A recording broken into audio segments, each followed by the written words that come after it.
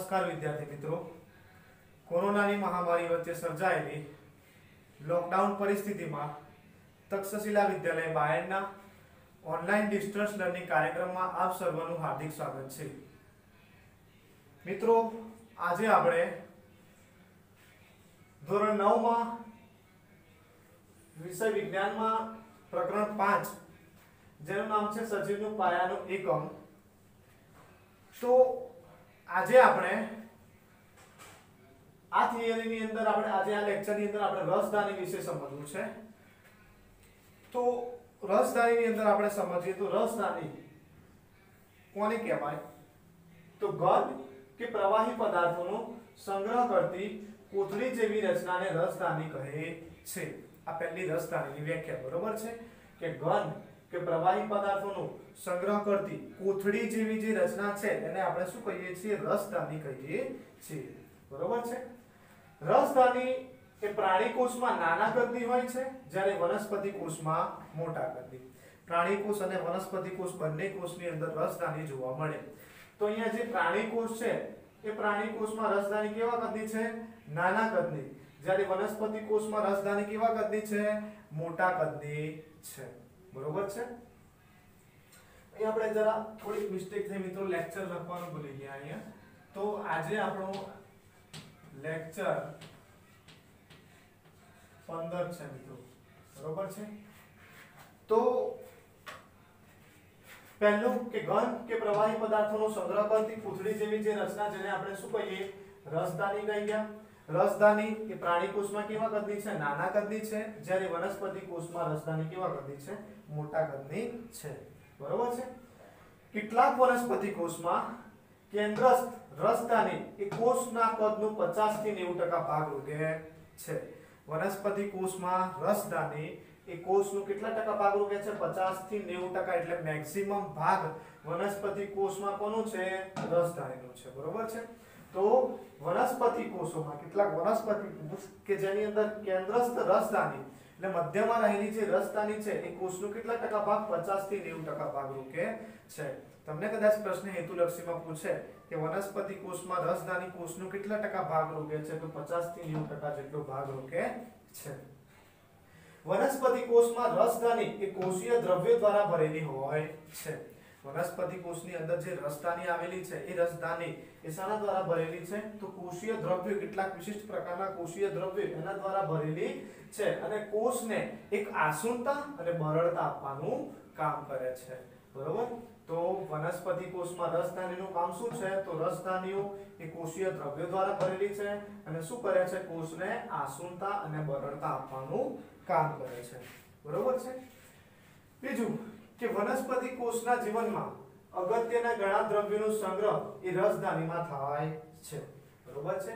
વનસ્પતિ કોષ કે જેની અંદર ઘણા દ્રવ્યોનો જે સંગ્રહ છે, બરોબર? વિશિષ્ટ પ્રકારના જે દ્રવ્યો છે, એ દ્રવ્યોનો સંગ્રહ શામાં થાય છે? રસધાનીમાં થાય છે.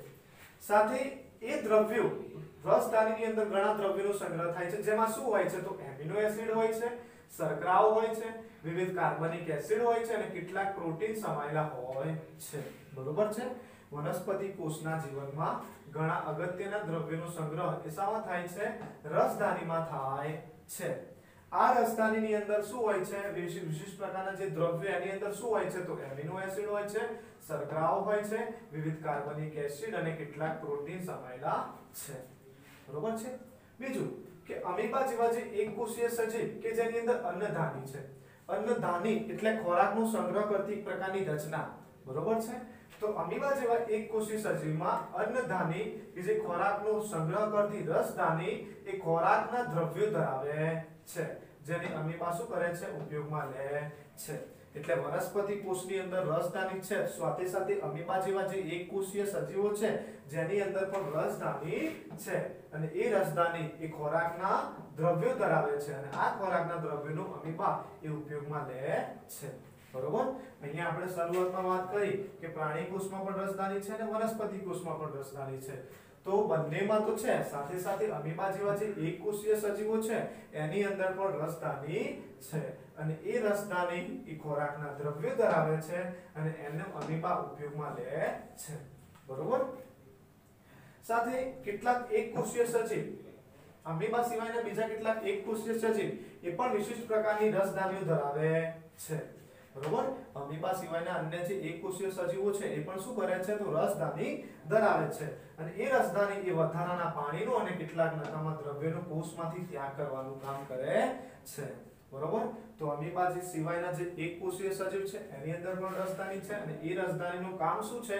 તો વધારાનું જે નકામું પાણી છે, એ નકામું પાણી અને વધારાના કેટલાક નકામા દ્રવ્યો અને કોષમાંથી ત્યાગ કરવાનું કામ કરે છે.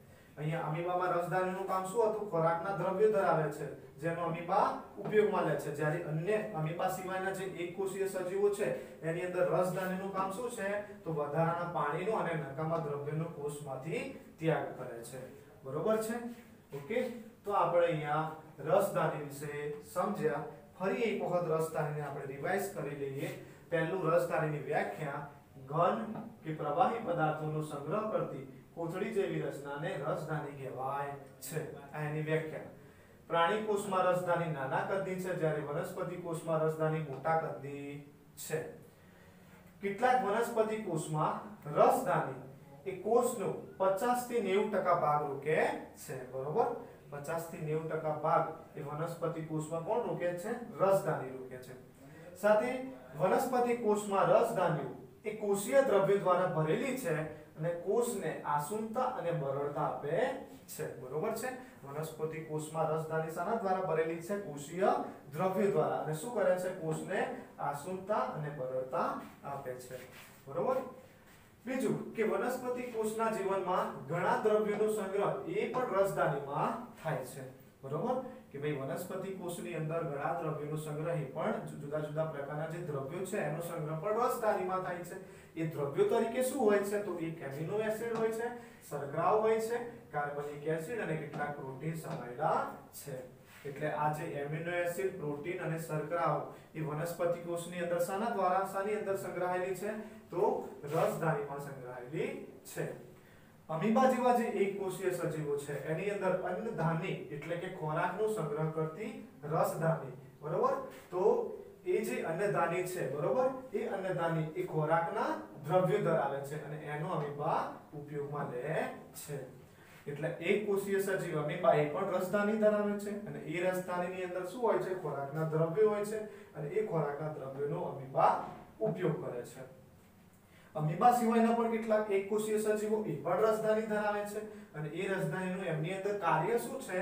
તો વધારાના પાણીનું અને નકામા દ્રવ્યનું શું કરે છે? કોષમાંથી ત્યાગ કરે છે. બરોબર? ખ્યાલ આવ્યો? તો આ આપણે અહીંયા રસધાની વિશે સમજ્યા. આમાંથી તમને કદાચ પ્રશ્નો પૂછે તો શું પૂછે? તો એક તો પહેલી રસધાનીની વ્યાખ્યા પૂછે. બીજું કે રસધાની વનસ્પતિ કોષમાં કોષનો કેટલા ટકા ભાગ રોકે? તો 50 થી 90% વનસ્પતિ કોષમાં રસધાનીનું કાર્ય શું છે? તો રસધાની કોષીય દ્રવ્ય દ્વારા ભરેલી છે અને કોષને આસુંતા અને બરડતા આપે છે. એના સિવાયનું જો તમારે વધારાનું કાર્ય લખવું હોય તો શું? કે ઘણા દ્રવ્યોનો સંગ્રહ વનસ્પતિ કોષની અંદર એ રસધાનીમાં થાય છે. અને એ દ્રવ્ય તરીકે શું હોય? તો એમિનો એસિડ શર્કરા કાર્બનિક એસિડ અને પ્રોટીન.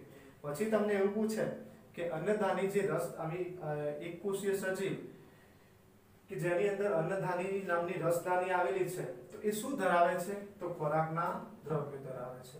બરોબર? અને અન્ય જે એકકોષીય સજીવો છે, એમાં રસધાનીનું કાર્ય શું છે? તો વધારાના પાણીનું અને નકામા દ્રવ્યનો કોષમાંથી ત્યાગ કરવાનો. બરોબર છે? પાઠ્યપુસ્તકમાં થિયરી આપેલી જ છે. એક વખત શાંતિથી એને વાંચી લેજો. બરોબર? સમજી લેજો. ખ્યાલ ના આવે તો વીડિયો છે તમારી જોડે. એના એમાંથી પણ તમે સ્ટોપ કરીને પણ તમે પોસ્ટ કરીને પણ તમે સમજી લેજો. બરોબર છે? અને આના પછીના આપણે નેક્સ્ટ લેક્ચરમાં નવા ટોપિક સાથે, નવા મુદ્દા સાથે મળીશું. Thank you